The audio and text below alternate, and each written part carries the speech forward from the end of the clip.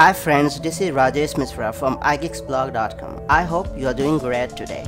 WatchOS 3 is widely considered to be a major sword in the arm for Apple Watch. Apart from a redesigned UI, there are a number of exciting features like iOS style control center that have immensely enhanced the user experience. So let's see how to add a new Apple Watch face in WatchOS 3.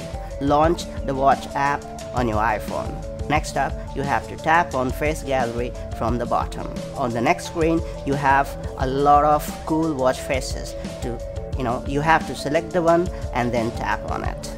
Up next, you have to you have the option to customize the watch face and add complications as per your liking. In the end, tap on add to include it in the list of my faces. Now you can set your watch face anytime you want. Next up, how to arrange or rearrange watch faces in WatchOS 3. Make sure My Watch tab is selected at the bottom. Next up, you have to tap on Edit which is before My Faces.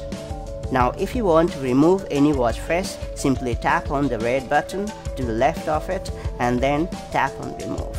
In order to rearrange the watch faces, simply you know hold on the three small lines and then drag it where you want to place it.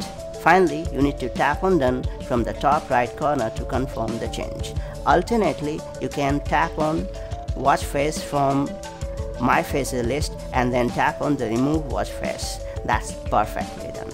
Subscribe to iGeeks Blog YouTube channel to get more updates and do not forget to share it and watch other videos as well. Thanks.